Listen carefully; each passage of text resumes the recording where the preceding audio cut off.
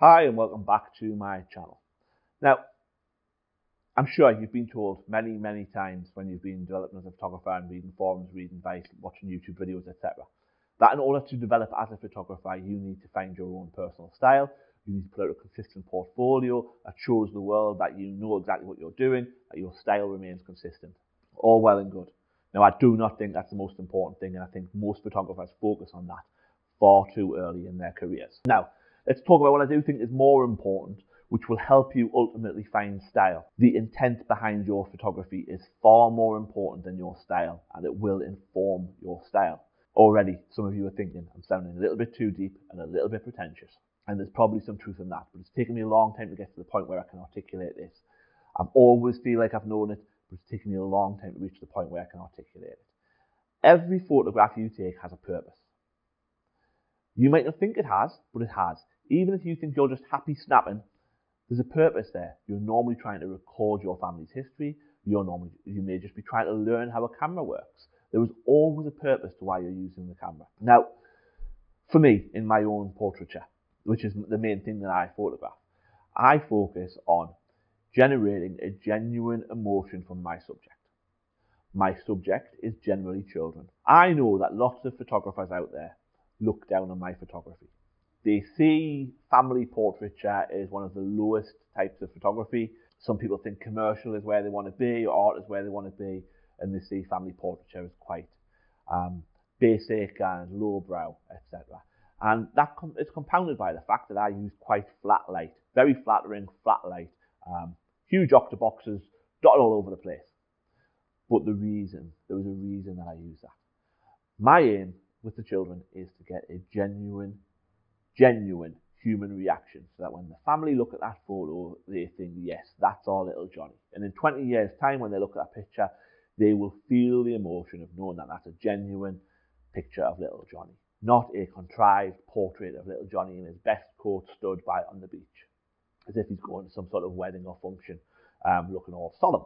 Now, that is a style of photography that I know a lot of people like, that sort of fine art thing, but it's not for me, not at this stage in my career. My style is often seen as either flat looking black and white or these very bright um, white, high key, um, joyful images. And I know a lot of people look down on that.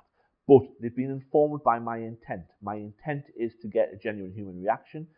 With children, particularly, you cannot ask them to stay still and get that. You need to engage with them constantly. You need to constantly keep moving them forward, constantly interact with them, constantly try to amuse them. And you need them to be able to feel the freedom to move all over the place and not suddenly get a weird shadow across their eye. That's why I use flat light. You may not shoot for portraiture, and that's not what this is about.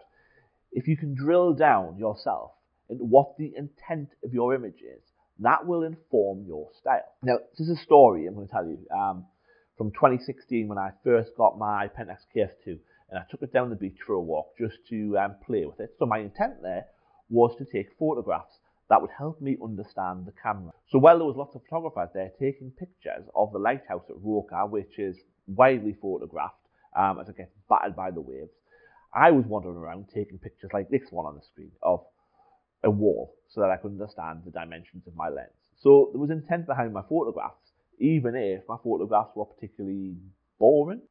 I was drawn to other things because my intent was to understand the camera. It wasn't to capture a great photograph that day. But anyway, there was lots of photographers there, landscape photographers taking photographs of the lighthouse.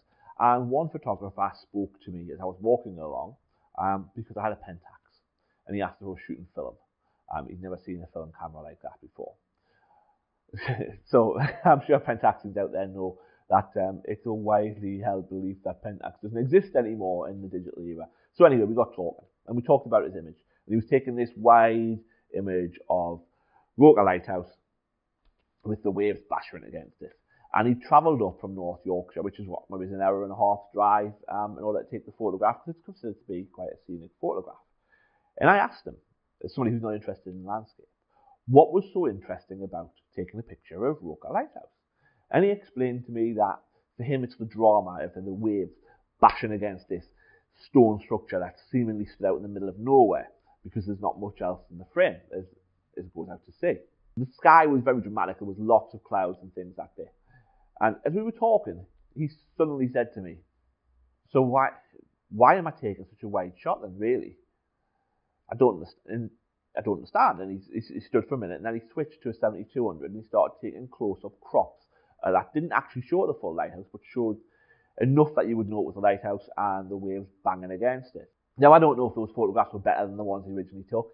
I don't know enough about landscape photography, to be honest, um, despite watching lots and lots of it on YouTube. But I really think that he probably took some images away that he wouldn't necessarily have got just because he took the time to think about the intent behind his photography, and that informed both the composition of the photograph and again, when he gets to post processing, I would like to think that it would also inform the post processing. Now, how does that lead on to style?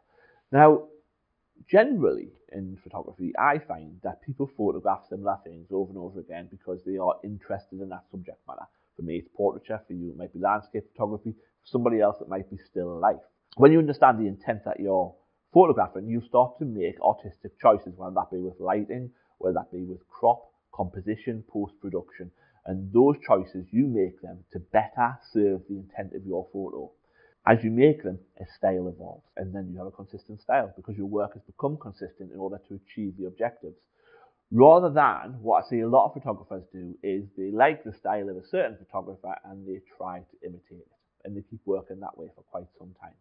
And they never really actually achieve a consistent style because they're not thinking about the intent of their photography, they're thinking about the style that they want to portray. But one more thing style doesn't need to be consistent and it doesn't need to last forever. Now, I am definitely better at business than I am at photography. My background is business, and I totally and utterly agree that in order to get bookings at a good rate and to sell well, you need to put out a consistent portfolio so that people feel like they can put you in a box and they can understand what you're doing and you are the expert for them. You are the perfect photographer for what they need. But that doesn't mean your style can't evolve. It just means that what you're showing to the public has to be consistent. Now, whenever you talk to a photographer about their website and you ask them to show them your portfolio, they will always say to you, to a man, it's not finished yet, it needs a little bit of work. Perfect. Your portfolio should never be finished. It should be finished when you're in the grave or when you've actually given up photography forever. Your next photo should always be your best, in your head anyway. That's what you're always aiming for. You're always aiming to improve and your portfolio should always be building. So how, if your style's evolving, do you maintain a consistent online portfolio? Now, within the businesses I've been involved in, one thing I've always found works really well for me. The first Monday of every month, I do the accounts.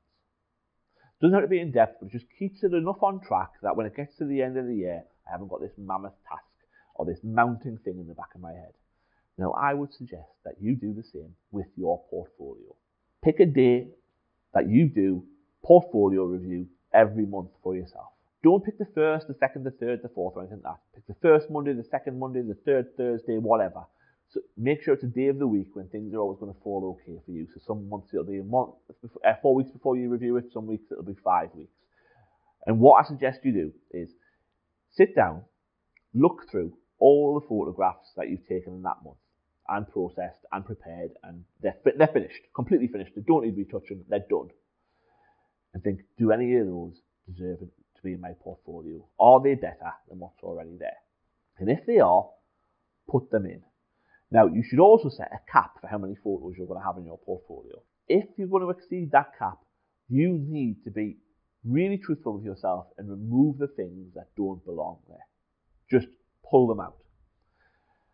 Now, I know what you're thinking. If I've taken on a slightly different style this month, or I've done something a bit different, that's going to stop my portfolio looking consistent. It won't. Structure the order of the images in the portfolio so that they're at the end, the new ones, if they're taking on a new style. Because style does not happen overnight. Style evolves. So as long as you keep them consistent, look for, when you're working with images to pull out, try, don't always go for the best image to take out, or the worst image to take out. Go for the one that no longer fits and try to create a progression of where you were to where you're at. And as you filter more images in, as your style changes over time, you can keep a consistent style with a consistent portfolio, but actually your style's changed a lot over the years. If you want to have a separate gallery or something like that that shows your best of your best ever over time, then do that. But if you're trying to get work that people are paying for, the consistency is worth it. So try to keep that portfolio that evolves. Now this is something I don't do, but it's something I should do. It's something I'm going to do.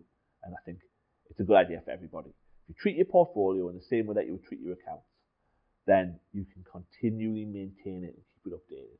But don't ever think it has to be finished. It's never going to be finished. Not if you're actually enjoying what you're doing. Now, thank you for watching. If you watched this far, if you thought this was useful, if you think I'm an idiot, give me a thumbs up if you think it's useful. Give me a thumbs down if you think it's not. Give me a comment if you think I'm an idiot. Give me a comment if you think I, you agree with me. Um, I won't ask you to subscribe. If you want to subscribe, you know how to do it. You don't need me to tell you. Anyway, take care, and I'll see you soon.